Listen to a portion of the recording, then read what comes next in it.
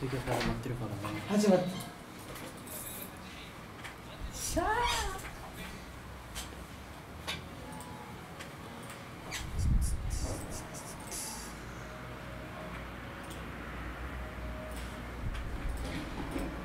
う見てくれてる嬉しい。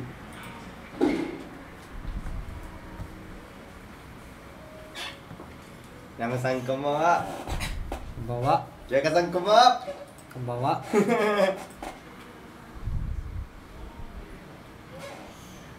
ツイートしたんでもしよかったらリツイートお願いします。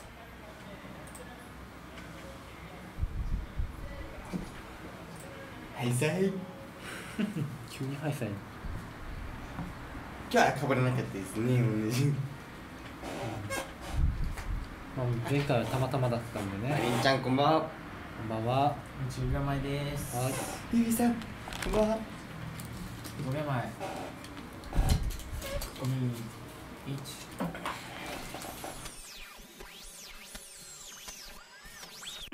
ああああ。FEC チューンド。FEC チューンド。FEC チューンだ FEC チューンド。FEC チュチューンだ FEC チューンド。FEC チューンドはいどうもー。はいどうもデコカイリです。僕りょうとです。デコボコトラベリングです。お願いします。はい、えーはい。今日の漫才のテーマがはいはい。上半期ということで、ね。はい漫才やっていこうと思います。なるほどですね。いやまあ上半期っていうとねまあこのはい。1年の前半の半年分っていうことですよ、もうああっとあっという間ですよ。そうですね。もうね。この間にねいろいろ変わっていくものがあったりとかね。まあいいことだったり悪いことだったりいろいろありますけども、今回いいこといっぱいありましたよ。はい、この上上半期の間にねい。ろいろありましたよね、あのですねはいはいはい。ここはちょっと言おうか言おうかどうか一応迷ったんですけどはいはいはい。あもう今日はもうラジオを通してですね皆様に伝えたいことがあってりょうとおはその漫才でもないんですけども。はいはいはい。実はりょうとひがりょうとですねはいはいはい。1月8日にはいはいはい。お付き合いをしたんですよね。えー、そうなんだ。はい。はいはいはい。お付き合いをしました。1月8日にね。はい。年上の先輩とではいはいはい付き合うことになってました。りょう。とえー、はいははい。い、12月からちょっといい発展がありまして、はあはあはあ。11月8日にお付き合いしましてですね、はいはいはい。12月の初めがですね1ヶ月記念日っていうことで。え待って待って待って。1月に付き合ったのになんで12月の初め？あ間違えました1 2月ですね。2月の初めですね。あびっくりした。うん。にあのーはいはい。数も数えられなくなったのかなと思って。緊張してます今日、うん。初めてなんでであのー、1ヶ月記念として美ら海水族館とえっとどこだったかネオパークに行ったんですよ。はいはいはいはいで3月には、はいはい。あまず2月にバレンタインも初めて うん手作りもらいました。ははいい。はい。はいはいそして3月にですね、はあはあは初めて家島に行ってですあ家ね島に行った。で4月に、はいはいはい。琉球海援祭。開園祭。2人で見に行きました。はいはいはいいいです綺麗だったねあのね綺麗ですね花火ね。そして5月にはゴールデンウィークで僕たちハイアップローやってるんですけど、見に来てくれてですね、子供の国まで、来たんだあーわざわざ。見に来てくれて、はいはいはい。もうお忍びでちょっとお動物も見ましてですねはいはいはい。楽しい。いいですね。そうなんですよ。そうなんだ。りょうとなんで帰り？全部嘘だろや。バレた。いやバレたじゃんよ。全部嘘だろお前。そうなの。あの上半期亮と全くいいこともなかったです全部お前の空想上の話だろそれ。そうですね。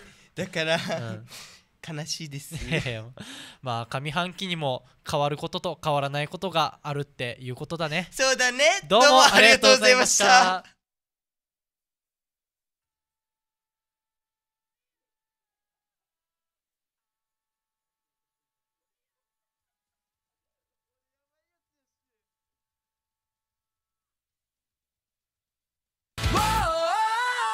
デコボコトラベリングのビッグスモールさあ始まりました。デコボコトラベリングのビッグスモール。僕らデコボコトラベリングの帰りと。お送りいたします。ということでね。はい今ツイキャスのコメントが荒れてますけども。いつもエイプリルフールですよ僕は。エブリデイエイプリルフールですからね。しないでってもう。ねコメントでみんな嘘なの？嘘ですかい？本当かと思いました。めっちゃ騙されたってめっちゃコメント来てるけども。俺俺空想上の彼女のこと考えてどっかどっか行ったなっていうのをうん。一人で書いてたんだけど虚しいなやっぱりな。それ虚しいわお前。死に虚しいわ。ずっとずっと自分で考えた空想上の彼女とお前デートしてんだからな。本当に笑いが止まるようなもうやばかった俺。もうね悲しいを通り越して笑いになるってだっていう琉球海援祭って宜野湾で開かれたじゃん、はいはいもうすぐ見えるんです見えるんですよ僕たち。まあ僕たちのね、うん。家のところかシェアハらウスで。一人で見てたよ俺は。海援祭一人で。だけどうん。はいはい。本当にいないです。大丈夫ですよ。はいあのファンの皆さん申し訳ございません、はい。本当にすいませんで大丈夫です。りょうとはあの、はい。ね、りょうとがあの彼女できるときは、はい。デコボコトラベリングを解散すそうですよるときなの本当に、い。彼女はできないっていうルールで僕たちやってで、ますはい、皆さん心配配しないでくださ お願いします。い。りょうとが女を知るときは、デコボコトラベリングが終わるときだと思って、はい。大丈夫ですよありょうとのは急に デコボコが解散したら、りょうとに女ができたんだなと思ってくれて、はい、大丈本当に。夫です、それで。よろ。しくお願いします。はい。いや、もうね、みんな騙されてる、本当に。こんなのラジオで言いませんよ まあ、確かにね。うん。まあ、はデコボコトラベリングはね、恋愛禁止でやってます AKB とので。同じですはい、AKB と一い緒。はいまあ僕はね支配人支配人なんで大丈夫なんですけど、はい僕はダメですのでねはい、りょうとはあのメンバーなので、はいあの恋愛禁止でやっていこうと思います。よろしくお願いします、はい、ちょっぱだからやば思った以上にみんな騙されるんだね。そうだねだって、両党がこんな半年間隠してるって、ねえ、それはそれでも衝撃っていうか、だったらもう言うなよってぐらいの、なそうだよね、だったらなんで言うばたかが半年隠して急に言ったばってなるよ。もう俺笑いが止まないやつさ今日。大丈夫ですよ亮太は。いや、今までのこの放送の中でのコメントのこのはい。急上昇率が高いね、相当。あのコメントが一気に変わっていったからね一気にバッてコメント来る。はい。えー、まあまあまあそういう感じで今日は始めて始めていきましょうと思いますけども、はい。いや1ヶ月間1ヶ月じゃ1週間どうでしたか？1週間ねうん、まあまあ特に何もない。今今のあれがインパクトでかすぎてからな。そうだねもう。もう他の話全部吹っ飛んじゃったわ。なっちゃったな本当、うん。俺も俺も予想はよかったな。いやでも1週間ね、早いなってやっぱり今日感じたんだけど、そうですね。いやもう先週から本当に1時間ぐらいしか経ってないんじゃないかなぐらいの勢いで。あんなに早く感じるの、まあ1時間は持ったけど。思ったけどね、うん。まあまあまあ。俺俺が彼女いたのもね持ったけどもめっちゃ、うん。はい。だいぶ持ったね、はい。話だったけどね。まあ楽しかったですよこの1週間もね。いやーあのね急に昨日はいはい。あの夜なあ昨日っていうか今日になるのかな？夜の1時ぐらいからはい。急に名護に行ってクワガタ取りに行くっていう。そうだね。全然意味わからないことしてね。ねえもうあの帰ってきたの朝の5時ぐらい。そうですね心霊スポットもちょっと行って。はい行って、まあ、特に何もなくはい帰ってきてみんなくたくたになりながら。はいはいはい。もうなんか今日今日ですねあの KY チャンネルのこの YouTube のね、はいはいチャンネル僕たちやってるんですけど、はいはいはい。であのこのクワガタ取りが多分4時ぐらいに終わって帰ってきたのが多分うん6時ぐらいで、うん。そこから KY チャンネルの撮影するっていうことになりまして、はいはいはい。あの時刻だったやつそれ地獄だよ。あの本当に激辛カレーを食べたんだけど、はいはいはい。もうわけわからん。辛い辛いし眠たいし。俺も一応このねあの俺ちょっと遅れて帰ってきたんだけど、はいはい。でなんかカレー置いてあって、うん。あこのカレーうまそうと思って、うん。ちょっと食べたんだけど死にかいよなったやつさやばいよなあれな。ああれ食べ物じゃないか。本当に違うあれ、うん。びっくりした。あななんて言えばいいんだろう、うん。もうべ ベロがどうにでもなるね。なんだろうな。ね辛いにも美味しい辛いとまずい辛いがあると思うわけ俺って。あれクソまずい辛さだったよマジで。本当に。あれ辛かったな。食べ物じゃないから。しかもしかも帰り俺たちってさ、はいはいはい。あの昨日車2台出して行ったじゃん。ああ言ったね。であのこうちょっと心霊スポット行って、はいはいはい。帰り俺と慎太郎とコータは俺の車で、はいはいはい。帰りの車あ中地の車は中地と帰りとでうん。ヘンザンとで行ったんだけど、うん、なんか嘘つかれなかった？ああなんか俺に取り付いてたよみたいな話でしょ。そうそう。慎太郎がいきなり電話かけてきてから、うん。帰りに。帰り実はさお前の後ろに黒い影があったんだけどさ。うん。あーそのネタばらしも一応されたんだけどうんどうだった？一応あの分かってたわけさ。分かってたの？だいぶ。うん。じゃあだからなんか逆に乗ろうかなと思って。あの時だから俺あー確かに俺もちょっと首痛いなと思ってっていう連絡したんだけど一応全部俺も分かってて分かってたのか。だけどちょっと怖かったから本当に塩だけはやっててしょ一応怖いよな、だって俺も初めて行ったんだけどすごい迫力がある。昨日も KY がちょっと喋ってたと思うんですけど。はいはいはい。あの本当に怖いですね。まあまあまあね。やっぱなんか雰囲気があるというか、なんかやっぱそういう場所なんだなっていう感じはすごかったよね。あとイモリがすごいいっぱいいた。そうですね。なんか なんかなんかねあんま言えないですけどイモリがいっぱいいましたね。なんか独特な進化を遂げたようなイモリみたいなのがいっぱいいたよ。やばかったな本当にな。いやもう本当にねなんかやっぱそういう場所ってなんかちょっと他と違う空気があるというかそうそうそう。空気感がやっぱ違うなって思ったんだけど。そうですね。うんまあ、まあれですね山奥ですからね。まあまあまあ確かにねマイナスイオンが豊富というか。豊富だけどなんか変な空気が流れてるみたはいいはいなね、はい。まあまあまあどこ行ったかはねちょっとまそうですね。ちょめちょめというかまあ。ちょめちょめなんですけども。あはいまあ。のちょめちょめちょめなんですけどなんですけども。あのー。あ ちょめちょめちょめってなん？本当に一応事件があった場所なのかなっては考えられたんだけど、はいなんかでもそれでもなんかまあでもなんかやっぱり雰囲気がうん怖いからみんな怖くなるのかなと思ったそうそうそうそう。うん。意外とねなんか後から思い返してみればまあ別に大丈夫なのかなとか思ったりとかね。まああの旅大行ったことないけど中城城市とかもやばい。城市の隣のはなんねあえっとチャイナタウン。もうなんかすごい迫力があるさ、はいらしいねなんかもうやばい。でもあっちは私有地だからそうだね。こっちを勝手に入ったらもう犯罪になっちゃうんでね。でも見ただけでも怖いまあまあなんか遠目から見ただけでもなんかああこれ迫力あるなってはなるんだけど。そうですよね、う他にもいろいろ沖縄にはいろんなとこあるんで、まあ、機会があれば。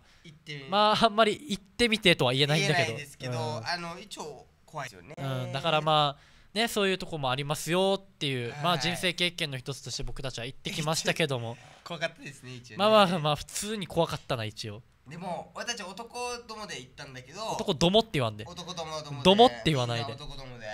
臭い汗垂らしてみんなで行って。やっぱ女の子を連れて行かないとダメだなってなんかね思うんその方が盛り上がるというか。っていうかよく帰りも心理心理ややってるか分かると思うんだけど、はいはいはい。なんかさ怖いところね女の子連れて行ったら、うん。なんて言えばいいんだろう。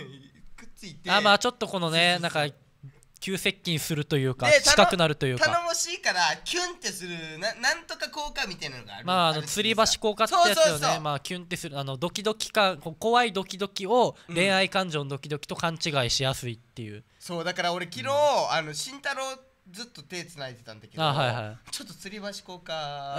芽生えてた。芽生えててさ。本当に？あいつがもっもっとかっこよくなって。でも中地ともちょっと手つないで行ったんだけど、うん。芽生えなかったやつ。芽生えなかったんだ。あれは違いやつ。中地は違うんだ。中地雄一郎は違いや雄一郎は違うんだ。うん。あいつは壊れてる。ああいつ壊れてる。あいつは壊れてる。男としても壊れてる。もうずっとなんかあいつも顎がちょっとしゃくれてるさ。あーはいはいはい。顎ちょっとね。がしゃくれながら、ちょっと怖かったんださはいはい。中地って、うん。正直言って、うん。怖がったりとか、うん。まあもしあのこうでなんかいつもありがとうとかお母さんに母の日とか言うタイプではないと思う、まあまあ確かにちょっとなんか恥ずかしがってな。だからあいつ昨日あいつよちょっと顎がしゃくれてた。いつもよいりつもより。怖がってたんだあなんかちょっと 一個な何かガムとか入れれるかなぐらい マジで、うんあもうほほとんどもうこちょっと怖がってる場合。ああはいはい。ちょっと怖がってるからいつも以上に顎がしゃくれてたっていう。しかもあいつの悪いところは、はいはい。怖がってるけど、わざと他の人を怖がらせようああはいはい。やるねよく。そうそうそう。あの子やってましたよ。石とか昨日投げたりしてましたけど。してましたけども。本当は怖がってますよ。本当は自分が怖がってた怖がってますよ。もう中地そういうところあるんですよね。まあそういう部分ありますからね中地は結あ構ー。ね皆さん中地はそういうやつなのであのーちゃんと分かってあげてください。彼はあのはいツンデレな性格なので。はいよろしくお願いします。はいまあまあまあまあ。そんなねちょっとそういう話もありますけども。はい実はね今週金曜日僕たちライブがあるんですよね。ありますよ。はい金曜日に那覇のメインプレイス。メインプレスです1ね階中央コートでなんとお客さんを1000人動員するライブをはい開催しますよ。は、はい。FEC& カッチーノイズショーケースライブと称しまして、い夕方のですね5時30分からはい。始まりますよ、FEC のねこのメンバーでネタもありで、はい。ラジ公開のラジオ収録もありそしてクワッチノイズからは全アーティストが、ね出演して、まあ、歌とダンスやらねはい。盛り上げていきますあの今上り調子の五役栄翔先小生役栄翔先生もね。ねあのまたみんなをチンダミしに来ますちから、チンダミしに行くわけじゃないからね。チンダミはしに行くわけじゃないから。そしたらみんな悪いことしたみたいにあなっちゃうから。ああの五役栄翔こと金城さんもえええええええええええええかぶっておい。はい。ダメですかやっぱ。はい。マネージャーにも言われたでしょ？そうですね。先輩の扱いがちょっと最近おかしいって。おかしいっては言われました うねんちょっとあのもうちょい敬意を表して、はい五役さん。五も役さんは五役さんだから。先生もですね、うんあの頑張ってほしいですよね。五役先生もねはい。来るのではいよろしくお願いします、ぜひ来てください。もう中大連はあの明日僕がぶっ壊すので。中大よ大丈夫です皆さん。来てください。先輩の扱いとかの問題じゃない。あんた。中大ぶっ壊すのはお前すごいよや。あ中大連あるんですね。あ中大連一応かぶってるんですよね。あ中大連か、だまあ中大連を選ぶのか、まあハイアップローのライブを選ぶのか、うん。まあ、そこはあなた次第なので。中大連行きなさい。中大連行った方がいいんだ。早くプロより中大連行きなさい。え両と。はいその通りだよ。ごもっともだよな。ごもっともだよ。中大連行きなさい、そうだね。うん。あのテスト期間もあるって言ってたけどねまあまあ確かにね。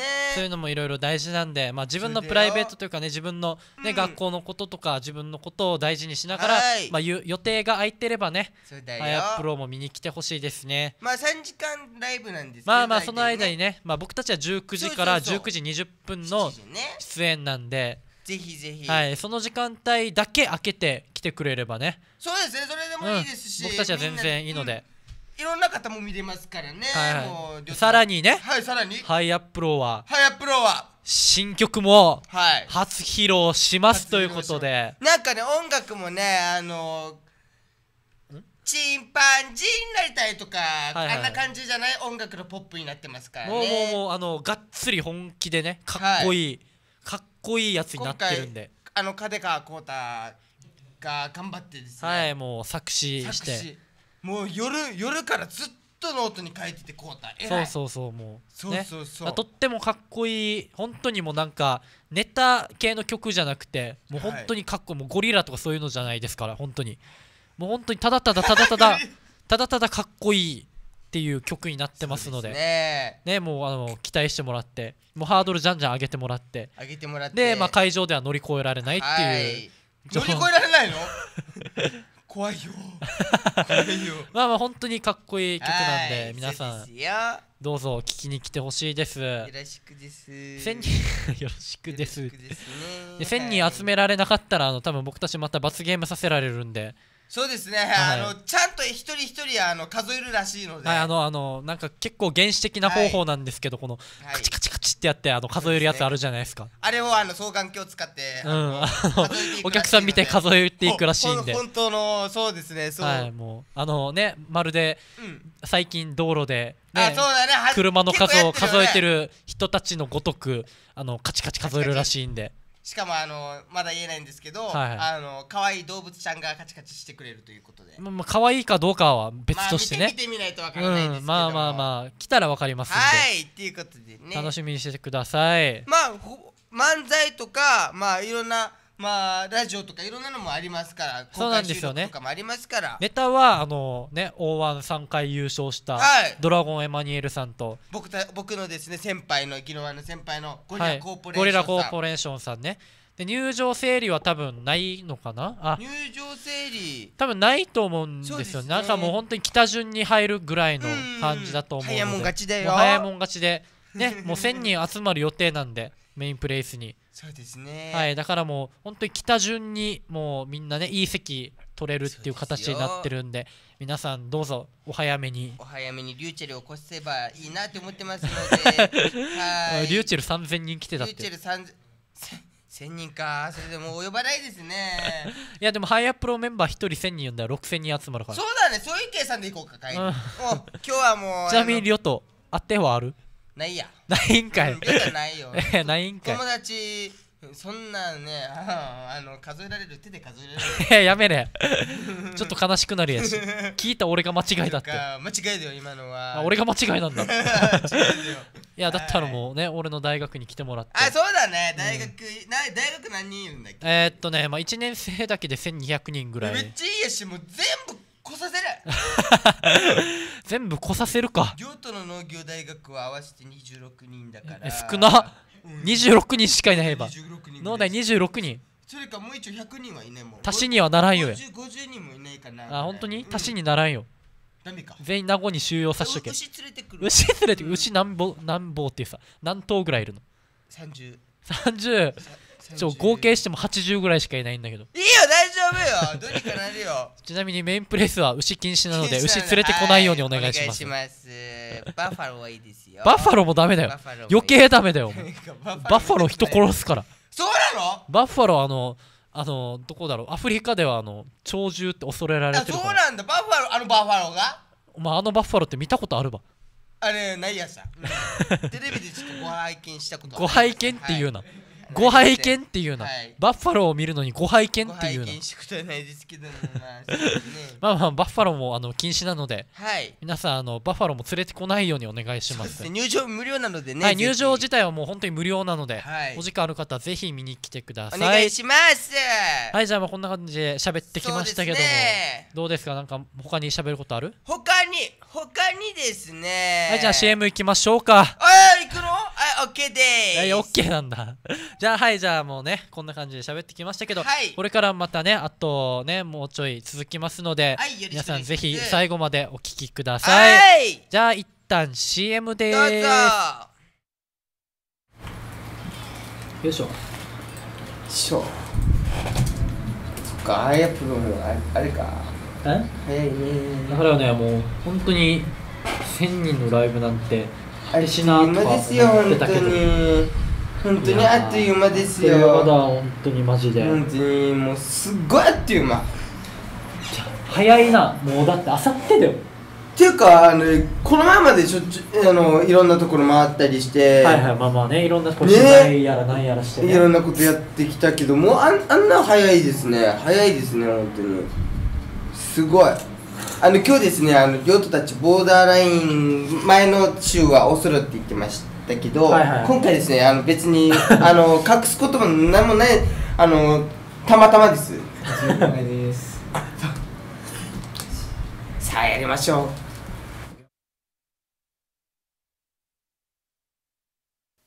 お前でっかいな。お前小さいな。デコボコトラベリングのビッグスモール。はい CM 開けました。はい。デコボコトラベリングのビッグスモール。ただいま生放送でお送りしております。しておりますよはいまあいろいろはいはい。喋っていきましたけど、はい。じゃあちゃちゃっとねコーナー行きましょうか。行きましょう。はいじゃあ今日のコーナー行ってみましょう、は YouTuber への道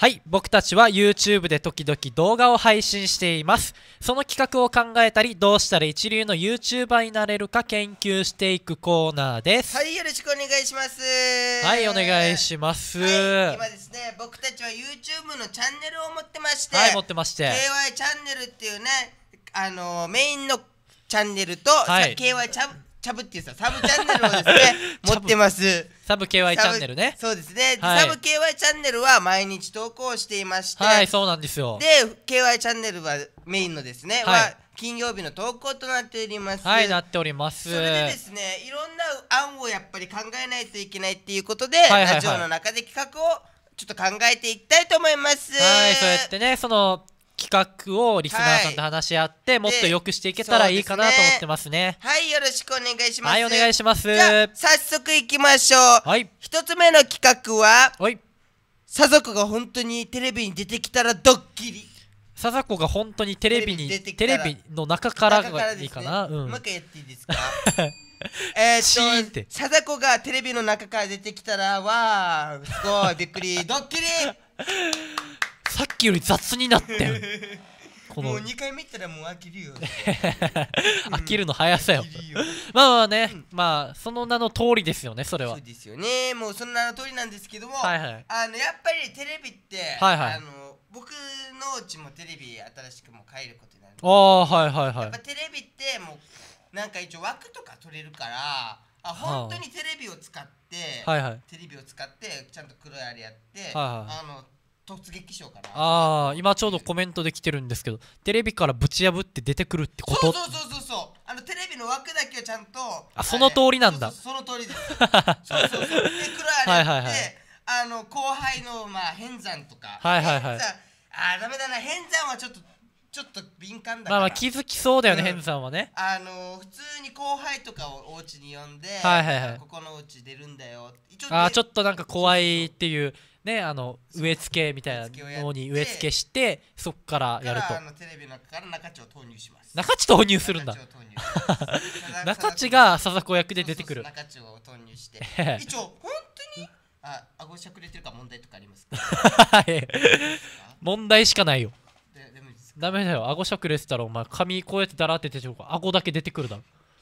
あーわー。違う意味でびっくりするな中地を貞子役での。まあまあそれはそれで面白そうだね、あうんのー、本当にやっぱいないと思うから。そういうドッキリあんまないと思うから。いやあんまどころじゃないよ。ないよね。ほぼほぼないよ。なんかテレビとかでなら確かにね、なんか壁からバーンって出てきてからっていうのあるけどテレビ自体からは出てこれないから。ないからね、うん。あの本当にやりたいなと思ってて、はいはいテレビもどうせもう壊れてるでっかいのがあるので、はいはいはい。ねあるのでそれを使ってですねちょっとやっていけたらなってりょうたは考えてますよああいいですね。うまくそれではめて、はめて。びっくりさして。でこれ多分ドッキリっていうの絶対わからないと思う。いやもういや壮大すぎて思いつかないよ思い誰もつかないかやっぱり、まあドッキリって言ったら、はいはい。あの僕たちのまあこれはちょっと違う話になるんですけど、はいはいはい。僕たちのメンバーでもかかりやすい人とかかりにくいドッキリの人もいますよね。ああまあかかりやすい人とかかりにくい人ねメンバーで。まあ簡単に言えば変山亮と。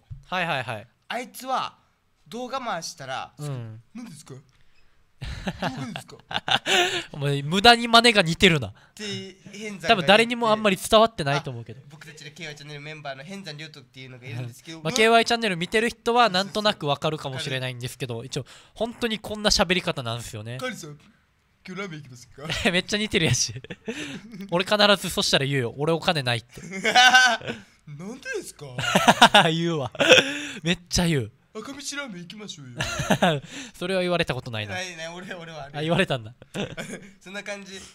えー、っとそうだね。変山で騙されやすいのがはいはい。中地まあまあ中地はね結構騙されやすいっていうか、慎太郎もあの頭使ってあこれドッキリだなっていう時もあるけど、うん。あの気づいてなくてあのドッキリかかってしまうっていう場合まあ、意外とあるよね。慎太郎はまあ半々ぐらい、で俺が一番面白いのは帰りはうん。ドッキリやってもビビらない時があるから面白い。はいはいあ例えばわさびを口に入れたとします、はいはい。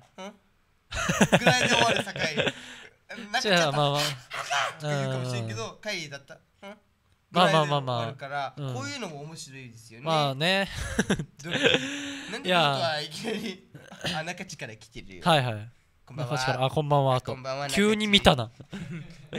せめて話終わってからの方が ちょっと気持ちよかったかな、その方が、うん、はいこういう感じですね。はいはい。まあまあまあまあ全然ねこの、できたら面白いね面い白いですよね。うまくねこの作戦を練って、はい。いい感じにできたらいいかなって思います。あと一個いいですか？ああどうぞどうぞ。ちょっとだけいいですか？はい行きましょう。次の企画は知らないと危険外国人には変な意味に聞こえる日本語を外国人に話してみた話してみたはい。あ話してみるんだ。話してみるそれを外国人に言ってみると。そうそうそう。あの普通になんか俺たちが普段喋ってることもはいはいはい。外国人からしたら、はい。他の変な意味に聞こえてしまう。まあまあ確かにねそういう日本語も結構あったりするらしいですからね。だからアメリカ行った時には絶対こんな言葉使ったらダメだよっていうのはいもはいはいはい。やっぱあるらしいですね、はいはいまあ、僕の、まあ、経験というか、うん。友達から言うと雄大っていう友達がいたんですけど、はいはい。まあアメリカ人からしたら雄大雄大あなたは死んでいるみたいな。あそうなんだ、うん。あやっぱだ雄大ちょっとお母さんちゃんと言おうお母さ。んあお母さんのせいなんだおそれいやぐ多分そいつが外国に出なければいいあそうだだけなんでね。大丈夫だ。日本でとどまればいい。この子大丈夫ようん。とどまるから、でも最近今東京の大学行ってるよ。あ成長するよ。どっちよ、大丈夫。よどっちだ？上に、うん。上に行くよ。雄大。あ雄大ってあそうそうまあそんな感じっていうことでしょ、言ってみたら。えーそうなんだね、うんでこういう感じでですね今日うんもりょうといっぱいあのちょっと当ててほしい。あーはい。日本語で言うから、はいはい。あのカイリーはなんかなっていうのを当ててほしいああいいよいいよ。じゃあまず1問目。磯野カツオ。磯野カツオ。磯野カツオ。おい磯野カツオ野球しようぜ何でしょうか？でしょうか？イタリア語イタリア語イタリでア語。ああ、そうだね。何でしょうか？露出露出魔が出たぞ。あー惜しい！あ惜しいの？惜惜しい！惜しいの？正解は、うん。私はチンポです。おい。ちチンポおい。チンポです。おい。もう俺これからサザエさん見れないわ。カイリじゃあ次行こうね、うん。どんどん行くよカイリ行こう行こうはい。次はですね、はいはい、あもしもし？もしもし？うん、はい。もしもし？うん。電話で取るときの。あそうそうそう、はいはい。もしもし？もしもし？もしもし。もしもし。もしもし。これは何語？ちなみにこれはドイツ語です、ドイツ語。はいはい。もしもし。もしもし。もしもし。もしカイリうん。あじゃあ俺が再現しようね。もしもし、もしもしカイリ今日遊べる？はいはい。はい。はいはいはい。えー、えー、うんこうんこ。あー惜しい。あ惜しいの？うん。うんこじゃなうんいこじゃない。うん。あみじんこみじんこ？惜しい。惜しいの？じゃあ答えいいよ、うん。女性器？おい。女性器？おい。カイリ今日遊べる？おいやめろ。下ネタが過ぎるぞ。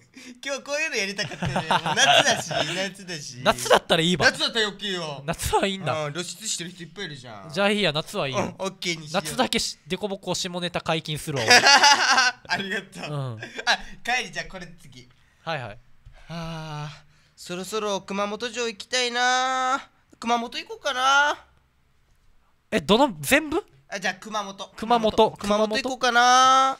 熊本どこの言葉？ちなみにこれは。これはですね中国語。中国？うん。熊本。く熊本。熊本。熊熊本。こんな感じかな？うん。熊本。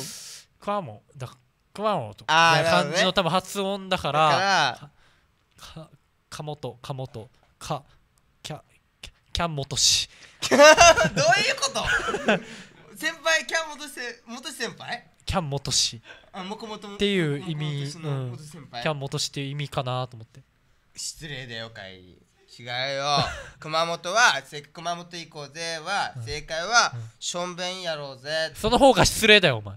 熊本にだって失礼今日元先輩言ってた？ら帰りでしょ。俺は 俺は関係ないよ。ああはいはいはい。そういうことねあちなみに一応コメントでも今来てますけど、日本人がもしもしというとドイツ語圏の人にはムシムシと聞こえてそうですね。虫と発音するドイツ語は二枚貝というところが隠語で女性のあそこで。え詳しいな。すごい。詳しいな。なんでそんな詳しいの？ちゃうちゃうちゃちょっとねちゃうちゃう。そこまで詳しいのもおかしいよもう嬉しいやいやお前喜ぶ。なんでそこで喜んでるの？い ななんか嬉しいなと思ってみんなと接しながら一緒に。まあまあまあねこうやってなんかこのねリスナーと近くなった感じがするのは嬉しいですけども。嬉しいですね。じゃあじゃあもうこれこれも言っていい？じゃあ次で最後にしようか。次で最後いきましうょうね、ん。あこれ言っていいのかな？うん。あのもうこれ言います。じゃあもうこれももう言います。夏だからいいよ。ちょーちょーちょーちょー蝶々。ちょうちょどこの言葉。ちょうちょはですねこれはスペイン。スペイン。スペイン。ちょーちょちょちょちょ菜の葉に止まれ。はい。あーおっぱい。あ惜しい。欲しいんだ。正解言っていい、うん。あこれもうすいません。もう耳塞いどいてください。なんか、はい。マンおゴえ女性器って言え。えなんでさっき女性器って言ったの？今ここでその実名出すま慢できなかったんだよ。キリンさんがアドバイスくれたから我慢できなかったんだよは。なんかキリンさんのせいにみたいに言ったら違うよのせいですよ。まあ。おい。もうもうもうやらないよもうやらない。よというわけで以上、はい。YouTuber への道でし菜のた葉に止まってね。は 菜の葉に止まってねってどういうこと はいじゃあね今はい日の曲に行きましょうか。もうこんな調子で曲聴くのも皆さんちょっとどうかと思うん何ですけどいや違うよ。違いますか？はいもうあの今日曲聴いてね皆さん、はい。あのなんていうんですかもう癒されてもらって。はい。はいじゃあ今日の曲行ってみましょうか。行きましょう。モンゴル800のライズシャインです。どうぞどうぞ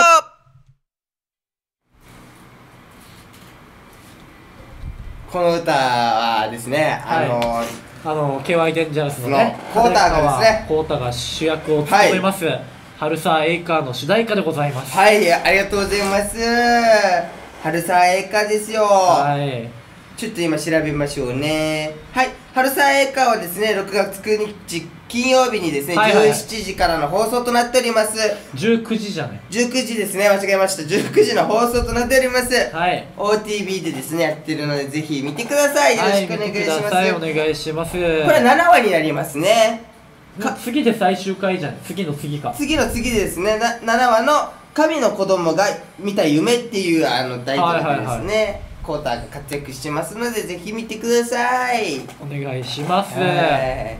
コーターはすごいですね。いやもうね本当になんかとってもいいハマハマり役というか役ですよね。ねコータだからこそできるような感じになってますのでね。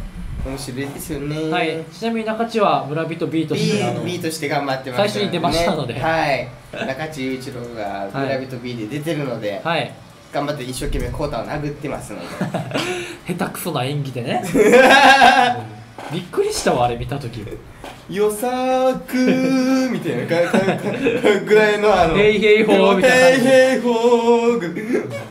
みたいな感じ。それぐらいのやっぱ殴れないぐらいのやっぱ愛がこもってますね。KY とコンビ愛あったんだあるよ。あるよ一応。あるんだ。一応じゃないあるよ。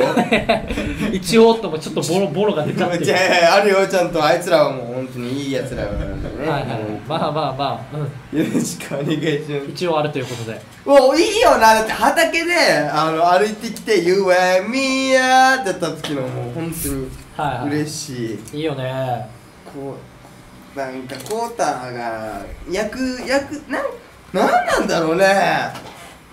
どういうことで京都めっちゃの農業やってたから農業っていうか農業のこと知識学んできたから高校で、はいはい。なんか嬉しいな。まあねなんか春さ、春さエイカーってねやっぱ農業なんか春さ、ね、そうそうそう。農家みたいなそうなんだよ。その話だからね。やっぱなんかおじいちゃんおばあちゃんも結構見るらしい。いや見るでしょそりゃね。そういうかなんだろうなんかやっぱでも年齢差高い人にも結構、うん愛されうる。受ける内容かなと思うんだけどうん。でもやっぱなんかねこの、うん。若い人にも見てほしいもっと。そうだねだって農業のあり方なんてもうこれ見たらちょっとわかるもんね。今どうなっているのかっていう状況もね。でもっとだからね幅広い世代の人に見てもらってそう野菜でね。こういうこともあるんだようん。みたいなのを見てくれたらね、そうですよ。私的にも嬉しいので嬉しいのでぜひ。FEC 所属してる人もいっぱい出てるんで、いっぱい出てますよ。楽しいと思うね。なんかね、いつもライブに出てる人が活躍してるテレビで活躍してたり。本当に面白いですよ。はい。どうぞぜ見てひぜひみてくだ見てくだささい。い帰り好きな野菜なんでちなみに。春さ栄華だったら好きなえ春菜ある春さ栄華じゃはあの農業なんだけどあーどうだろう。何が好きかな？何がいいかな？何が美味しいかな？あ俺でもあの、うん。なんかネギみたいなネギ系。ネギいいね。ネギ美味しい玉ねぎわなとかう長ネギとかあーネギとか。んいやそのままのね、うん。あ俺あれも好きさ。あのキャベツ。カイリーがカイリーがまあニンニクのタレと塩だれ一緒にあーはいはい美味しかったあれ。塩キャベツね。塩キャベツ美味しかったですさあと俺あのなんだっけなあのじゃがいもとか。じゃがいもも好きなんだ。じゃがいもめっちゃ好き。オクラは？はい、10秒前です。はいあはい。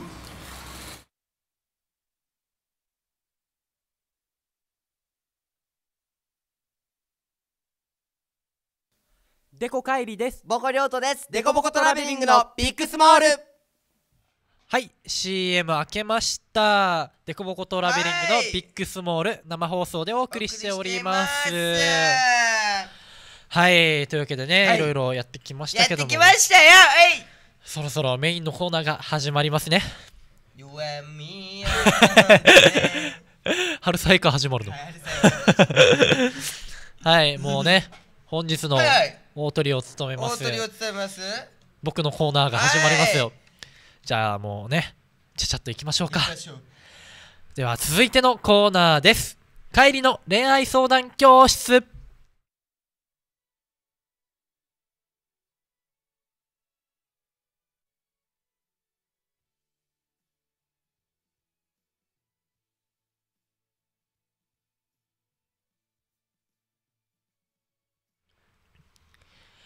はいこのコーナーは恋愛経験豊富な帰りがさまざまな恋愛相談を解決していくコーナーです。はーいっていうことでですね。はいまた今日も始まりましたよ。始まりました。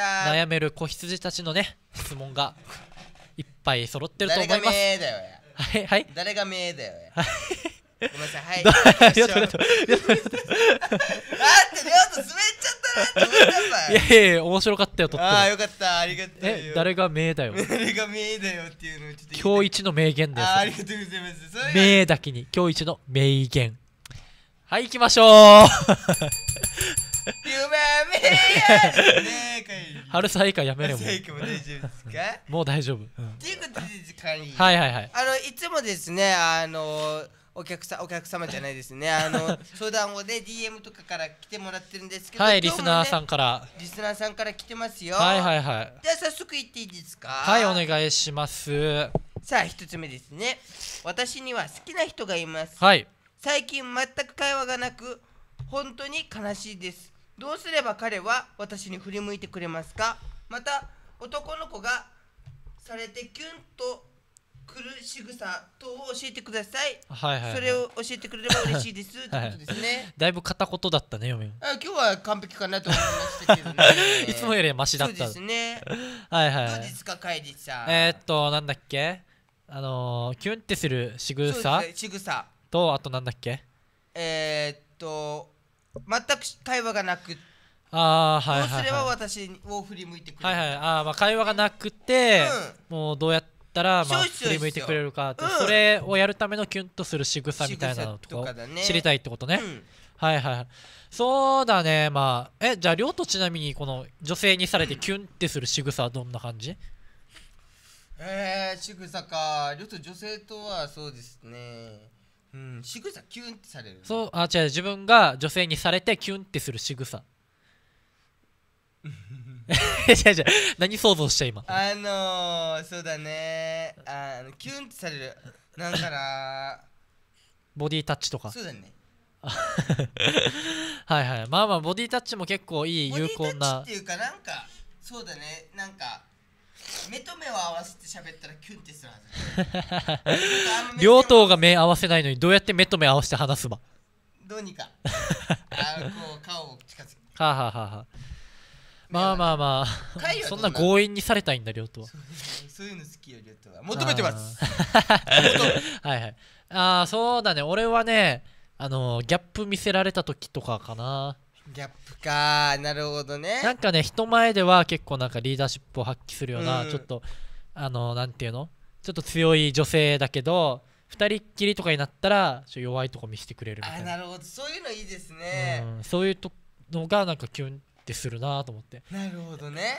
でまあ文面だけだからちょっとなんか詳しくは分からないんだけど、はい。あんまり喋らないってことは、うん。相手からしたら意外とちょっとあの硬い印象があると思うわけよ。あー何喋っていいのかなってどう喋ったらどうそうなんか喋あんまり喋りかけない方がいいのかなっていう印象を持たれてる可能性があるから、あるねこれあるかもしれない。よ逆によ、うん二人きりになった時に逆にフレンドリーになったりとかフレンドリーちょっとなんか距離今離れてるからちょっと近づいたりとかしたらそれだけでもギャップになるから、なるほど。まあ、相手もキュンってする可能性はあるよね十分に。ああなるほどね、うん。キュンってする。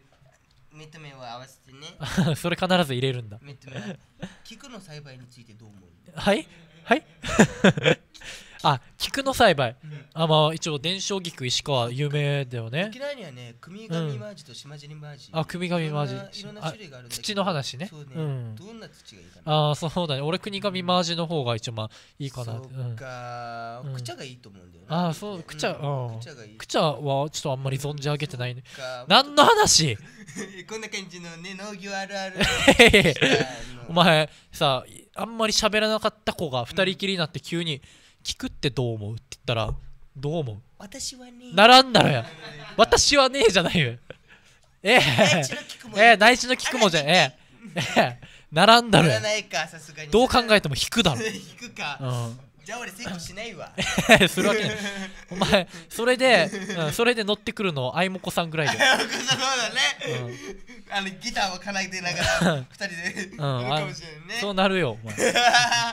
じゃあ話してみてもっと別の話でなんかもうちょっとお互いのプライベートな話とかすると、まあカイリーがよく言うあのこう部活どこやってた？あ俺もあまあまあまあ。バスケだったってそうばなんかみたいね共通点見つけるのがやっぱりいいかなって思いますね、はい。そんな感じではい。目解決しましたね。じゃあ次次の相談に行きたいとはい思行きましょう行きましょう。はい。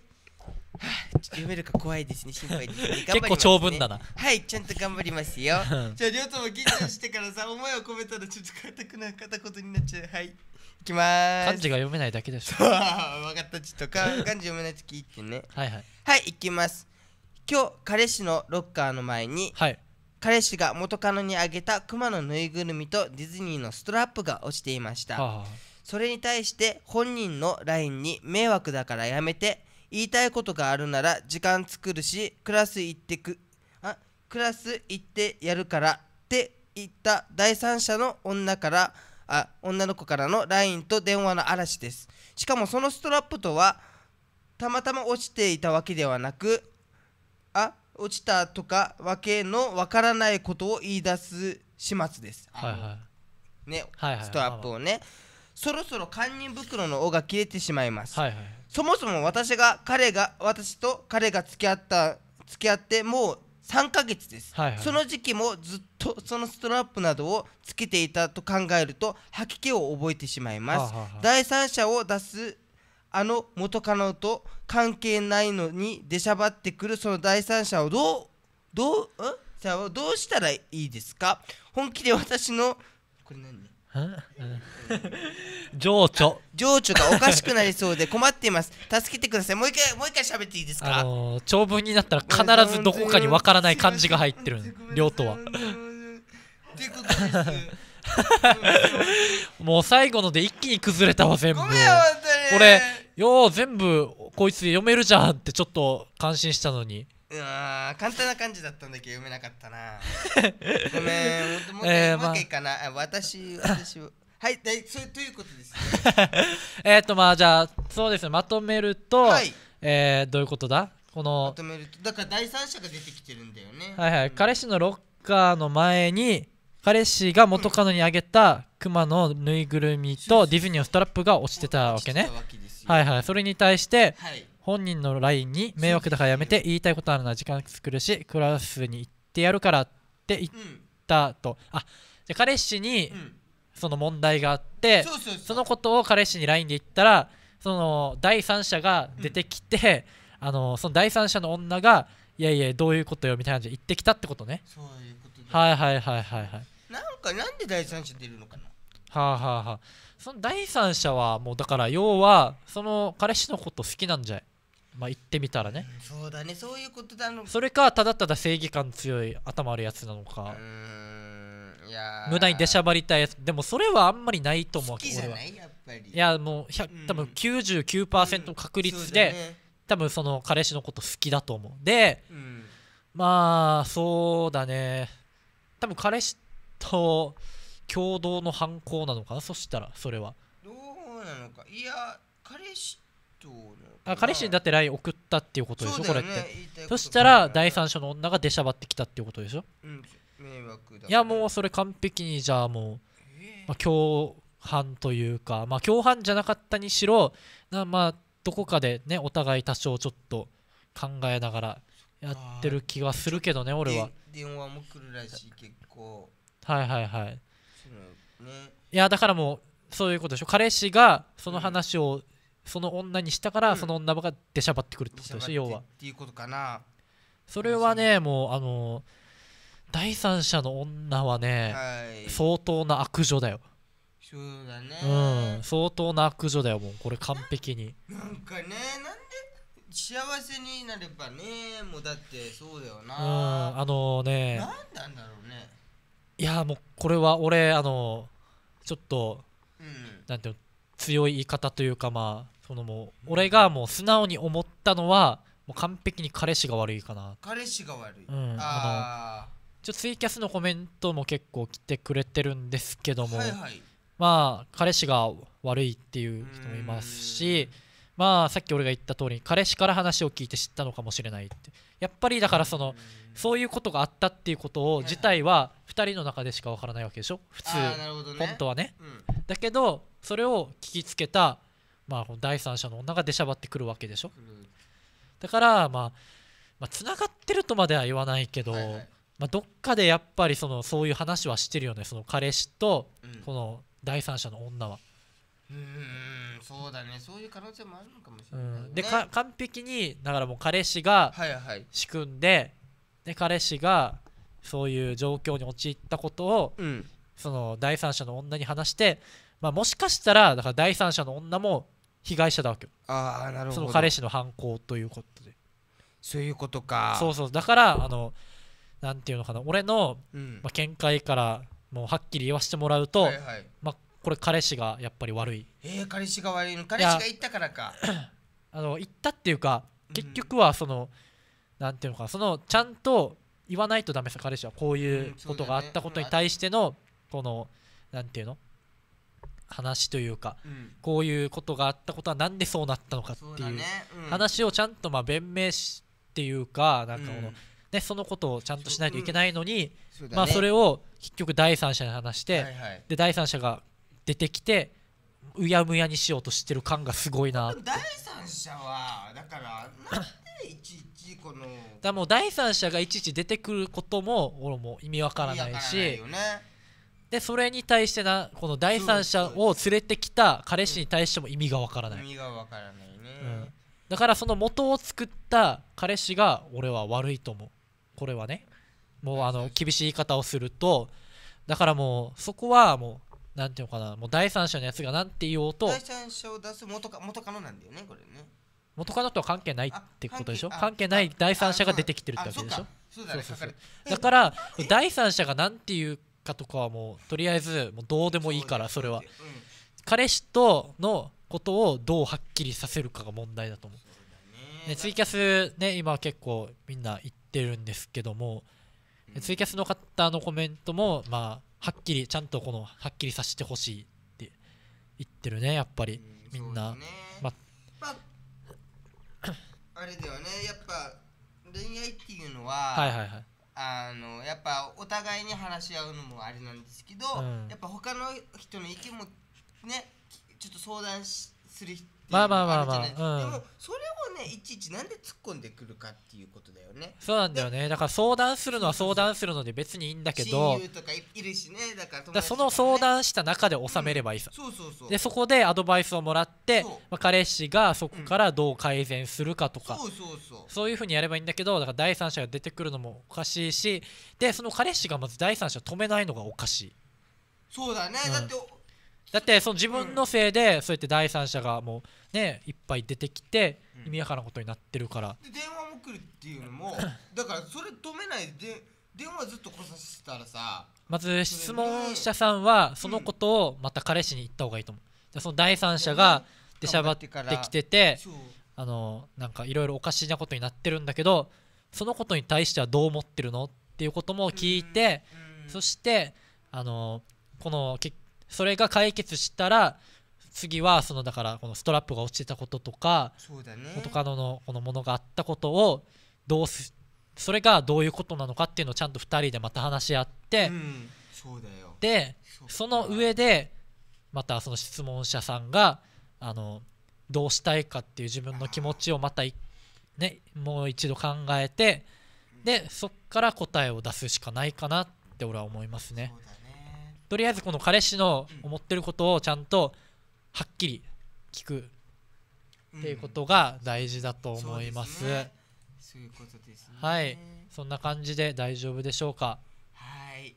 ということで。はい。そうなんですね。もう 絶対にあれですね。こういうのははい。話した方がいいと思いますよね。はい。もうかだからねやっぱりあのだから彼氏と2人でちゃんと話し合うってことが大事だと言われないようにね。はい思います。で第三者はだからもうその後からでも一応いいかなって思いますね。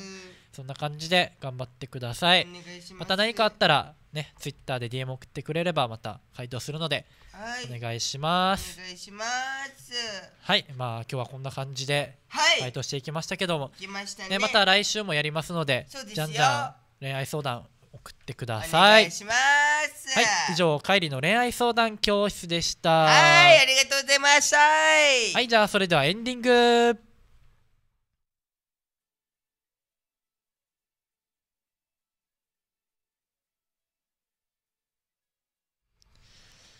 はいありがとうございましありがとうございたました。はいというわけでここでねちょっとメールの方が来てるので読んでいきたいと思います。はいお願いしますはいさい。FM ギノワン水曜日夜9時のフリームーンラジオ担当の MC モーミーヤイビーン。